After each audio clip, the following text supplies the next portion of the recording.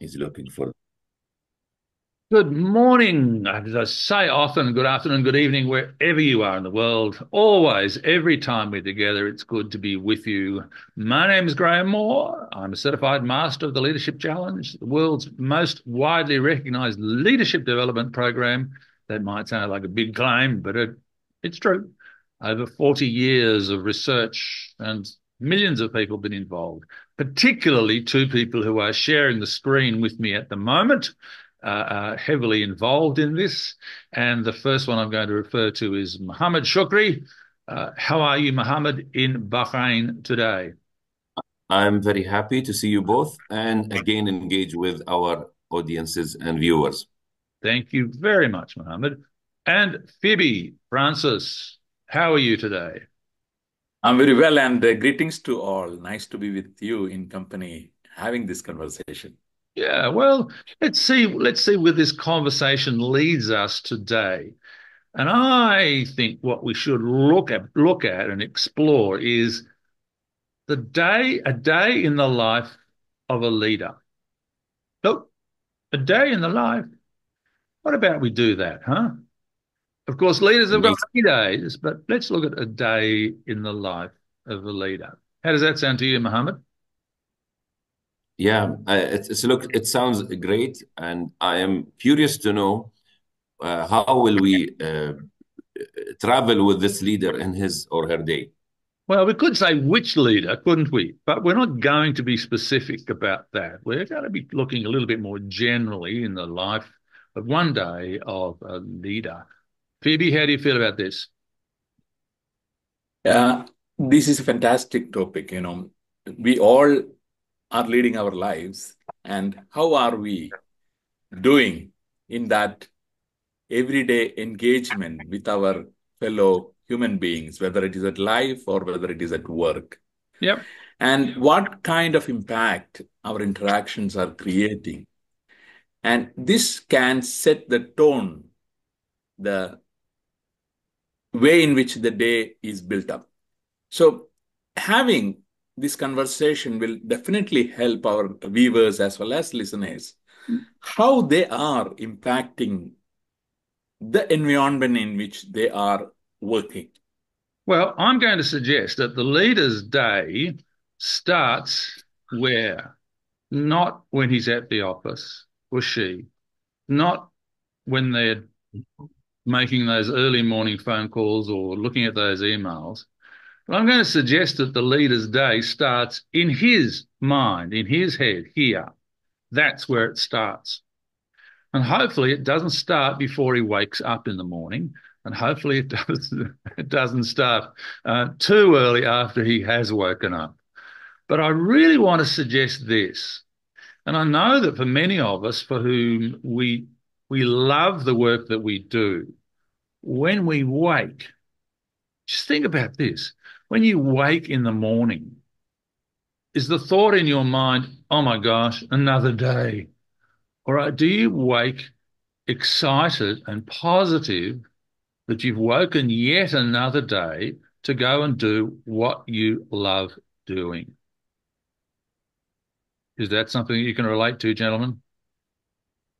Yeah. Yes, absolutely. Yes. I, I like that. Um, really, when you uh, stand straight from your bed and before you stand up actually uh, sit straight from your bed before you stand up lots of uh, thoughts are pouring into your mind.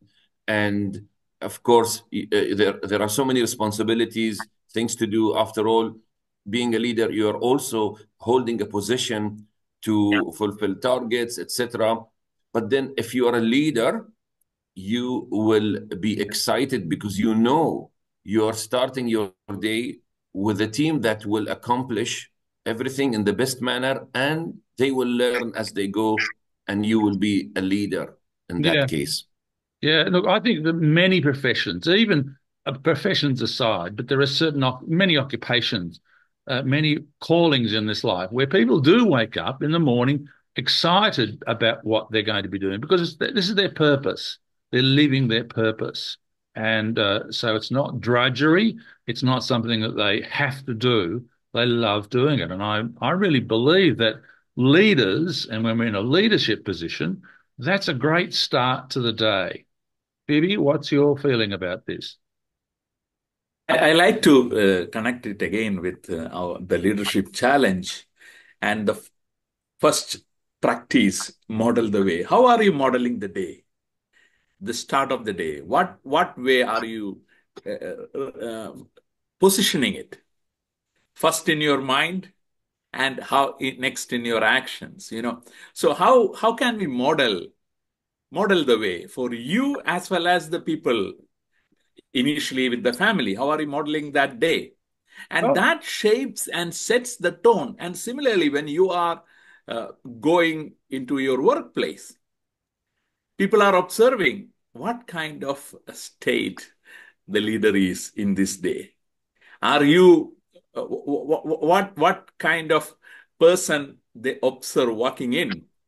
So this sets the entire day for them also, you know, because we are, especially if we are holding positions of power in organization, we are being observed, we are being uh, yep. seen, and our, our our our body language is looked at yep. each and every moment of the day. So modeling, so what what am I modeling at this stage? That comes so to my mind. So let's okay, let's just start at home.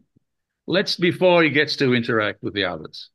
And I'm going to suggest that one of the questions that the leader should be asking himself at home in the morning when he's preparing, maybe he's as he's having or she's having breakfast. A simple question, and we call this a self-coaching question. How can I be a better leader today than I was yesterday? And I want in that, having just said that, not just to let that statement go out. Oh, I've said that, so therefore magic will appear. But to then think about really what could I do? And it might be a matter of recalling something that happened the day before and thinking that didn't quite work. So I need to make sure that I improve on my communication in that environment when I'm there again. Or I don't know that I listened enough in the meeting yesterday.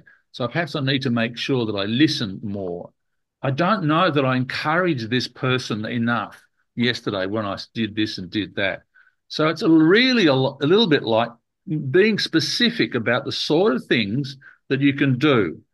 And I think the more specific we are, the more likely we are to achieve those things rather than just saying, I'm going to be a better leader today than I was yesterday. But think about what you can do to do this and then do those things as well as everything else that you that you have. Leadership is, of course, it's a it's a mindset, it's a behavior. So let's go through the day. You're going to drive to work or he's going to catch the metro or wherever he's going to get to work. And in that process, let's just say that he's on the metro or wherever else getting to work where he doesn't have to be physically concentrating on the traffic. That's an opportunity to think about the day that lies ahead. But he's also. I like that very much. Sorry. Yeah. Yeah, I like I sorry to, sorry to jump in. I like that very much. In fact, it's a way of encouraging the heart, a leader, the leader is encouraging his or her heart because we might, you know, uh, regurgitate on things that went wrong yesterday, and we might be stuck in what went wrong yesterday, in your opinion, or you didn't measure up to whatever you actually wanted. That conversation didn't go well yesterday. That meeting took longer than it it, it should have. I ignored the question by one of my team members because I was busy with the agenda. This is what a true leader really thinks and reflects of, and it's a healthy, uh, healthy uh, phenomenon. Uh, in order for it not to become um, a disease that uh, you know haunts you and holds you back, that waking up afresh and asking that question, how can I be a better leader today? Because every day is a new opportunity I felt that it was really good, really good what you said just now. There's always an opportunity to fix things and make things better. Let me just make a. I really like what you just said, and I want to make this this comment about what the points were. This is not an exercise exercise in self criticism when he's reflecting on what he did or didn't do yesterday, right? This is an exercise in how can I do it better? How could I improve? Mm. Not, oh my gosh, I interrupted that person, or oh gosh, I shouldn't have done this. I don't know, what can I do better than I did last, yesterday? This happened. Okay, we're going to make it a better day today. And that process can be done, as I said, in the metro or someone else is driving. Not so much when you're driving yourself because you've got to concentrate on the road and make sure you get there safely. We understand it. So let's then see that the leader has arrived at work and walks into the foyer of the office. What should the leader be doing? Uh, coffee machine. okay. I mean, coffee machine where, where the colleagues are. I mean, yes, interact with them, but and but, not go to business directly to business. Start conversations, coffee. So even when he walks into the foyer, there may not be a coffee machine in the foyer. May... Okay, you got. But but even in the foyer of the of the building, who is he going to see? In many cases, the security guard. Yes. And certainly the likely the receptionist or other staff. Right? Maybe the receptionist hasn't started yet, maybe he's early. But the security guard is going to be there. So what should he do as he walks past the security guard? Smile. yeah, but hang on. No, no, hang on. No, I am the most important person. Why should I smile at the security guard? Give me a break. Of course, right? You can make, we've talked about this, you can make his day by smiling at him as you walk in and smiling at the other people as you walk in to the lobby, the foyer, the reception area. And when you're in the elevator, talk to me about the elevator. What's going to happen? Yeah, th this is something where I just want to highlight one aspect. You know, quite often uh, when when we experience going into the elevator, we, we have pin drop silence. Every, everyone serious, standing like that, yeah. going up. So it is that moment where you can bring a lighter conversation, smile, starting with that smile, that pleasantness. Yeah. And I'm sure it is going to uh, create uh, moments of laughter, moments of uh, engagement each other. A simple question can uh, can, can create that. Just just be uh, you know uh, uh, just model the way asking a simple question. What are you all doing? What is happening around you? How, how are you? And, and creating a conversational space. How, how was your weekend? If it's the beginning of the working days, how was your weekend? Yeah, yeah. absolutely. And look, having said this, Phoebe, it's really important that the first the first time, yes, you can you can do all this, but when the leader's been doing this for a, a while, when the other people are in the elevator, they will openly and freely engage with him, won't they? Because they expect that he's like that, rather than this the person who is closed, focused on them getting to the meeting half an hour late, or, or whatever, whatever and not connecting with other people. So they will get to know that he's always like this. So then he, the elevator says, oh, okay, have a good day, guys. And off he goes when his floor has been presented when the elevator doors open and he walks into his office. Let me just give you a, a quick story of someone some years ago who was saying to me, my staff are not engaged. This man was the CFO of the organization. He said, my staff are not engaged. I keep, we keep trying to do things to engage them, and uh, they just don't want to. No, no, no. So I then said to him, I want you to tell me what you do or what happens when you come into the office in the morning.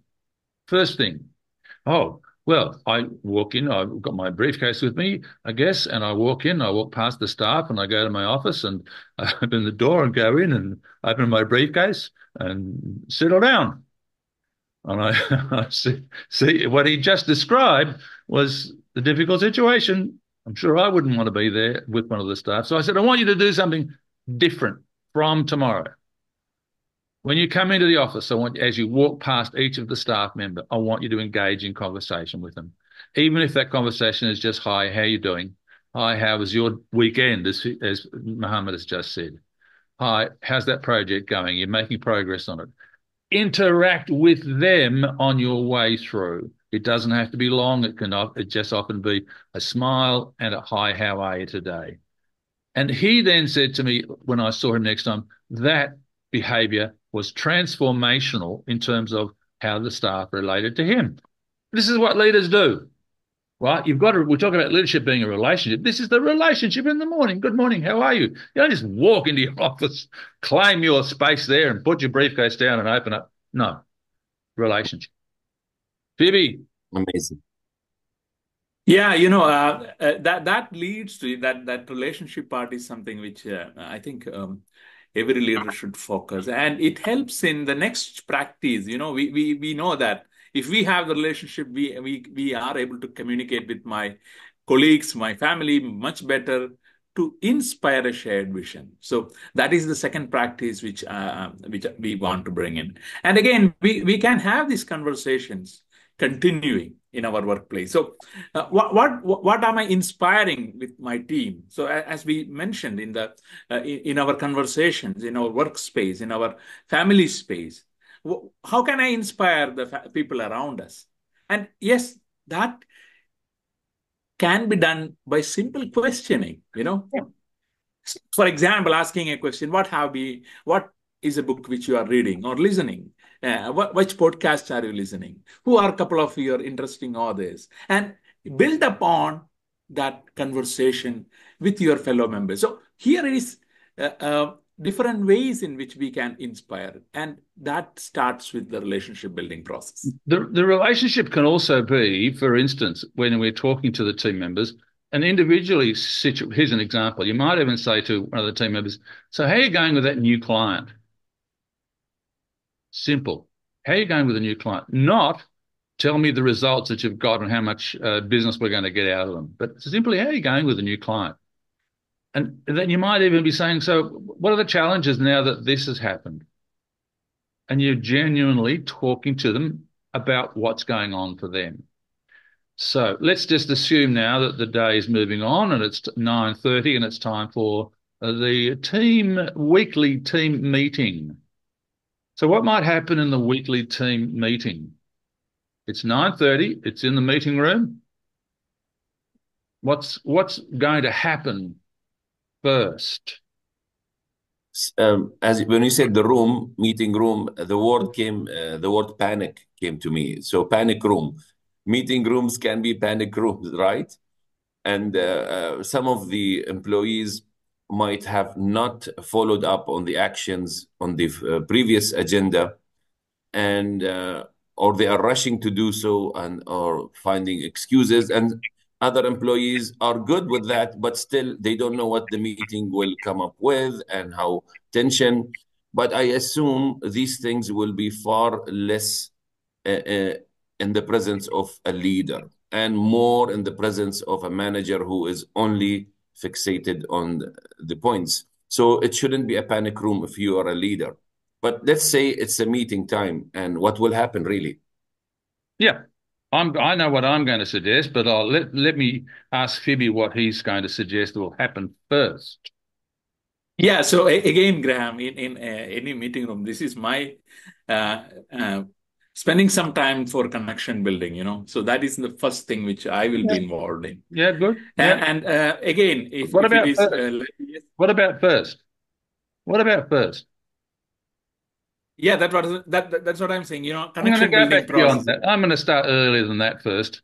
We've got 9.30 what's going to happen first? The leader will be there early. Yeah, that's yeah, likely to be the case. And because he is two minutes early everybody else will be also early because they want to be part of the process. And I really believe that when the leader is, be, is modeling the leadership behaviors, they know that his behavior is such that he doesn't come to a meeting 10 minutes late. He doesn't come talking on his mobile phone as he comes into the room, trying to sort some other problem out. He comes well organized and ready for a meeting that everybody's going to enjoy and look forward to. And so when he comes in, they will likely all be there waiting for him when he arrives in early. And when he comes in, he closes the door and they all start because they're all ready for it. And then, Phoebe, what is he going to say? What's the thing that's going to say? He's the relationship yeah, so, important, right? Exactly. And and Graham, one aspect is, you know, um, you know, I, I will call the check-in process, which we, we all have to do in most of the cases. And, and another, uh, following that, you know, I will be uh, uh, continuing as five questions, which, which is coming to my mind. One is, what is going well with, with respect to our work? Then second, as a leader, where can I help? That is second question which I will be asking. Then what are our top priorities uh, these days, which we have to focus on? Uh, is, there anything uh, new or upcoming which the team like to put on my radar as a leader? And that sets, and is there anything else? Is there something which we haven't touched upon? So these queries will help the people to be more open up. And and celebrate you know first of all again celebrate uh, is something which we have to do in the uh, morning. What, what is going well we have to uh, acknowledge appreciate that wonderful things the people have done to the team. So there are the two things that I think we have talked about this before about a meeting is starting. And one of those is that I've said before, I, th- I think one really good way to set the tone, the atmosphere, the climate, if you like, in the meeting room is for the leader to say, we're going to go around the room this way. I, I want everybody, you've got one minute to, to talk about something really positive that's happened in your life in the last week. I want you to share that with us now. So one minute, bump, bump, bump, all the way around. When we're talking positively about that, it's going to lift the tone of the meeting. Everyone's going to be feeling, wow, that happened to you. That was fantastic. Oh, wow, that's really good. So they, their mind is moved away from the pressures of work at that stage the, mindset is going to be elevated to an area of, of ease and comfort and the good things that are happening. Another way the, in, in the meeting and whether it happens first up or not is, is for discussion, I suppose. But it, I'm now highlighting one point that you made, and that is to say to the team members, okay, I want you to identify one really good thing that one of your team members has done in the last week since we were together. So let's hear from you about what you've observed from the other people in this room or even in other departments the good things that they have done. And so we can, as we say, encourage their heart. So we're going to acknowledge the good things that have been done. This is setting, again, setting a positive tone about what we're going, how the day is going to be. Then mm-hmm. what might happen? I, can I come then, back to the point about, sorry, Mohammed, make the point about a leader saying, uh, do you want my help? Uh, I think that that's a really good idea, but probably he would be saying, as you always know, if you need me to help you, I'm always here. And if you need me to help, you, you can always come to me. Rather than him wanting to find out more and then try and buy in. You got any problems? You know you got now you know where you got to come. If you know, got any want any help or advice, you know where you got to come, and I'll be here for you. Muhammad, I cut you off. Yeah, beautiful. Uh, I like that last part. Uh, not that I am ready to give you the solution right now. Immediately tell me how can I relieve you? No, no, no. That's not growth. Sure. All right. So, uh, but the meeting is over. Midday is over. We are approaching the end of the day, uh, working day. How would would a leader behave in the end of the day? I am curious. Also, I want to make the most of that one day in our one episode. Yeah. Oh my God. Mate, is that the time? Oh my gosh, so pleased I can go home. I don't think so. I don't think so. So, Phoebe, what do you think might be the uh, an action that he or she could take at the end of the day? Yeah, it, it is reflection time, you know. So uh, uh the three W's come to my mind: what, so what, and now what.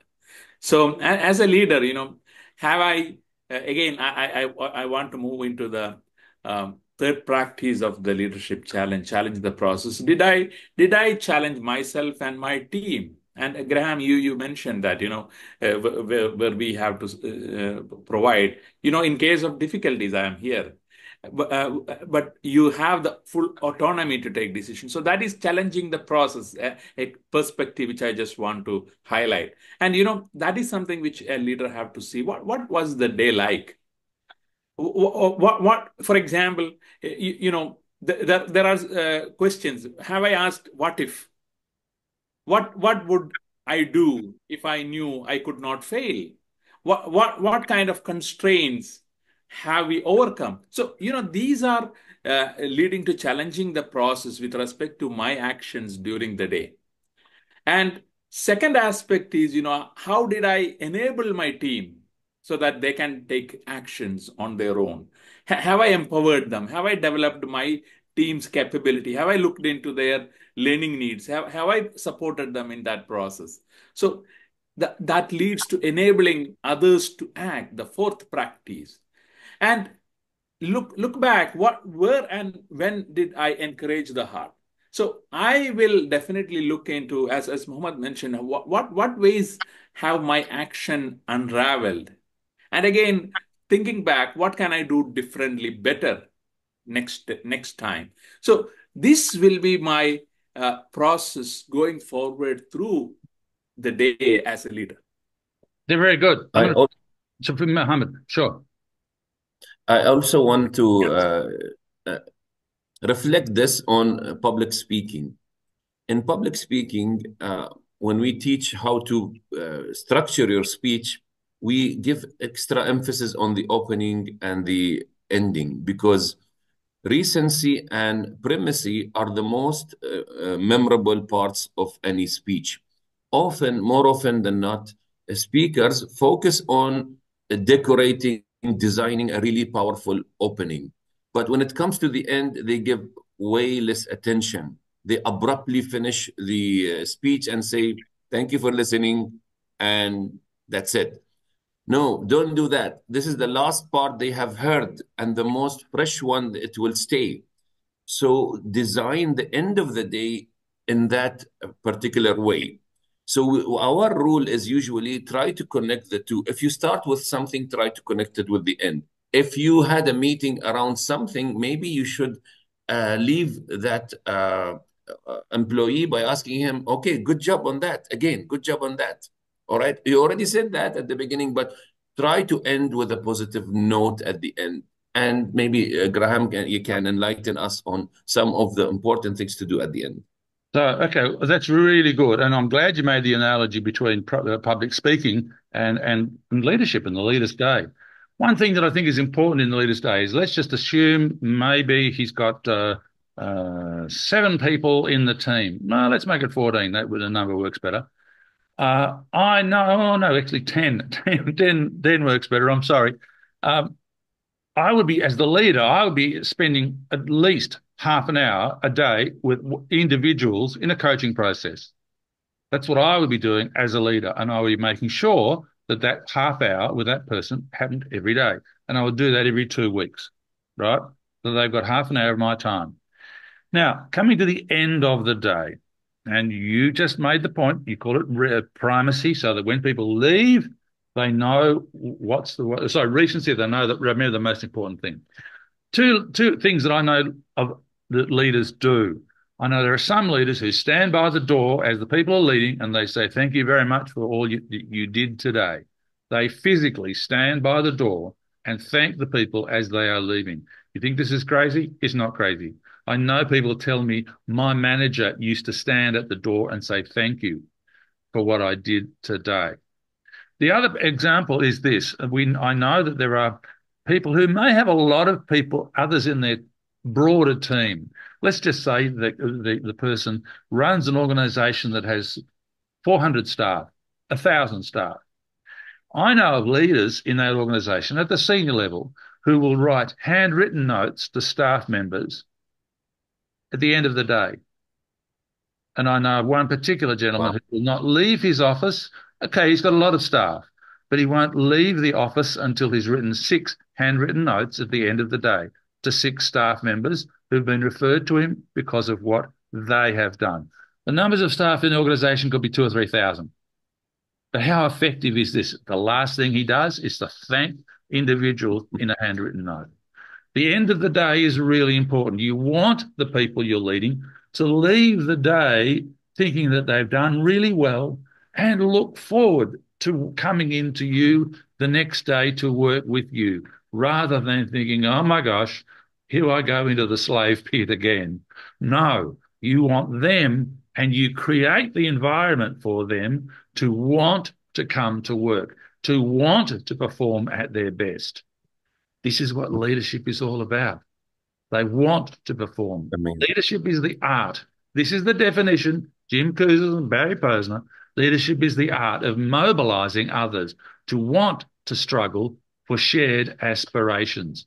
And that can happen by your actions throughout the day, but particularly at the end of the day.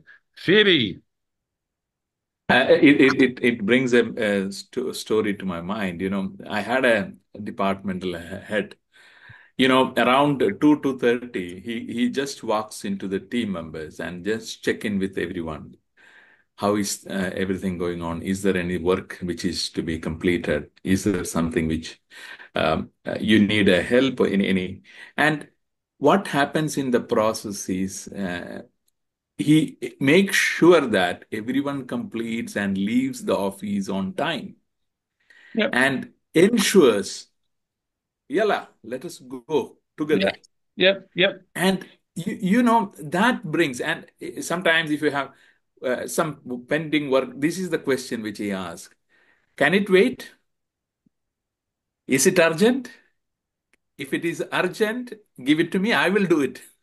Well, and, uh, no, uh, no, so maybe because this is basically the workload aspect, managing the workload with the people. And second is helping in the process to make sure that everyone have the time to take the break from the work, giving a freshness as they leave.